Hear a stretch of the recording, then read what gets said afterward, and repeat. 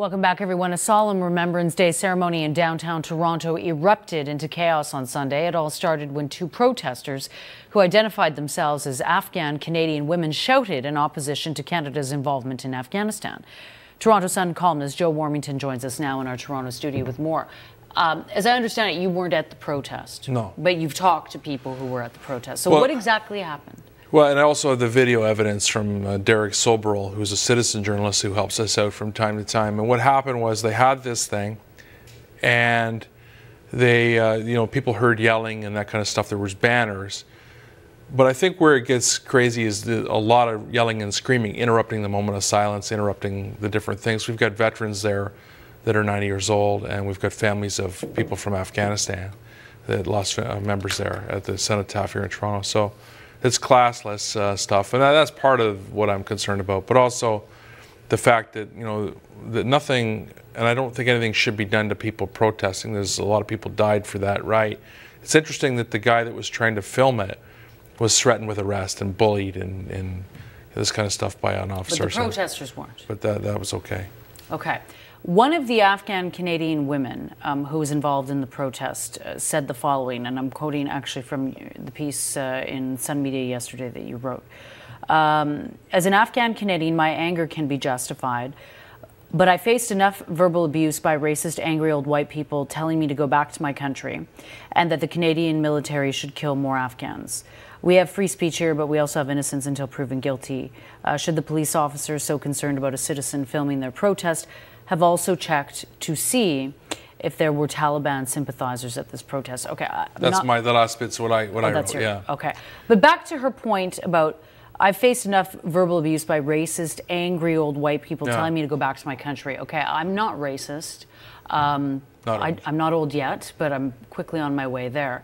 Um, and I'm not an old man, but I confess that my reaction when I first learned about this was, But even well, the things white- are so rough. You Why don't you go back white. to Afghanistan? Right. If you replace that white with anything else, then if if you did it or I did it or anybody did it, it would be a problem. So it's not okay that they did it either. You know, like you can't say the same thing. You know, put a religious term in or or a, a race uh, color.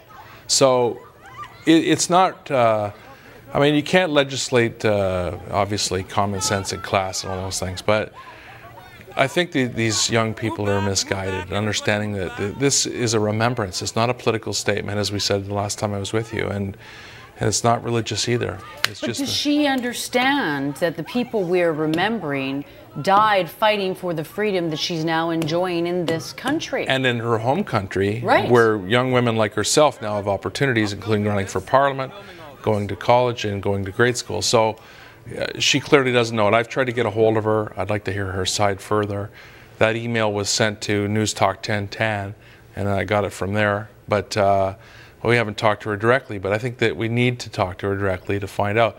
The other point that is important is that why is it that the police think that you know some guy that's covering an event is an issue, and yet there's somebody that's uh, supporting a position of the Taliban at a protest in a public place, and there's nothing so what do you think it? is the answer to that? Well, I think that those people should have. There's a reason to detain and question somebody to find out who who's there and what's there, because we do have terror issues here in the country. So, you know, I think they dropped the ball on that. I mean, they got away with it, but we don't know exactly. When you have somebody supporting the Taliban after 158 people died and 130 of them through IEDs, um, you know, it upsets me.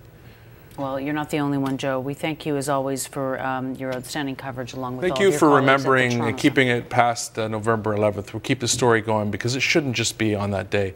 To save that, that, that day, we have to fight 365. Indeed. Thank you, Joe. Thank you. Joe Warmington, Toronto Sun columnist, joining us here in our Toronto studio.